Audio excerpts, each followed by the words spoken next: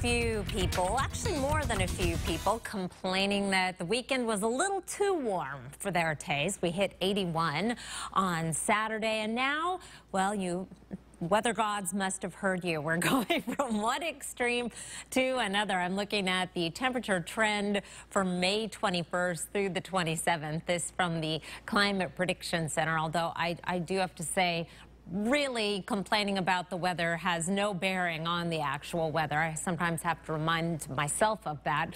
Uh, as you can see, a, a, fairly strong signal toward below average temperatures, uh, especially the further east you go. But an upper level trough will be developing over the entire western United States and right on in to the Great Plains that is going to keep things cooler than average and, as it happens, wetter than average. Here is the precipitation outlook for May 21st through the 27th. And we have been fairly dry for the past couple of weeks, so making up for some lost time on the precipitation front uh, will likely be a good thing for most people involved, particularly our farmers and the folks in the Okanagan where the concern over wildfire this upcoming season is quite high.